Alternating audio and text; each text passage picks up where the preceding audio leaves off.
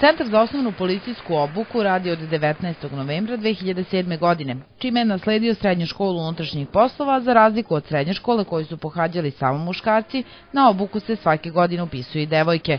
Ove godine promovisano je 154 novih policajaca, među kojima su i 44 dame. Od petora najboljih polaznika u klasi prvi put su se među najboljima našle čak četiri devojke. Ja sam zaista veoma zadovoljna i srećena na postignutom uspehu, e, s obzirom da sam devojka, muškarci su jaka konkurencija, ali hoću da kažem da nije bilo nikakve diskriminacije među nama, svi smo se podjednako borili i trudili. Među troje najboljih polaznika su još i Dejan Stamenković i Slavica Milić. Oni će kao i njihove kolege na radna mesta policajaca pripravnika biti raspoređeni širom Srbije. Ministar unutrašnjih poslova Ivica Dačić rekao je da se jednogodišnjom obukom uz najsavremenije metode u centru dostiže zadovoljavajući nivo obuke, a tome svakako doprinose i međunarodne donacije.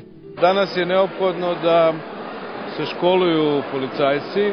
Mi smo zajedno sa OEFS-om ustanovili ovaj jedan jednu ovakvu e, instituciju gde bi se školovali policajci kao što je ova u Kamenici. Ta obuka traje godinu dana i nakon toga oni se upućuju kao policijski pripravnici na rad u naše policijske uprave. E, shodno tome, mi smo doneli odluku da prioritet u narednom periodu ima popuna Beogradske policijske uprave. Na obuci se trenutno nalazi i peta generacija polaznika. Ministar Dačić pozvao je pripadnike nacionalnih manjina da konkurišu za prijem u Centar za osnovnu policijsku obuku kao i na Kriminalističku policijsku akademiju.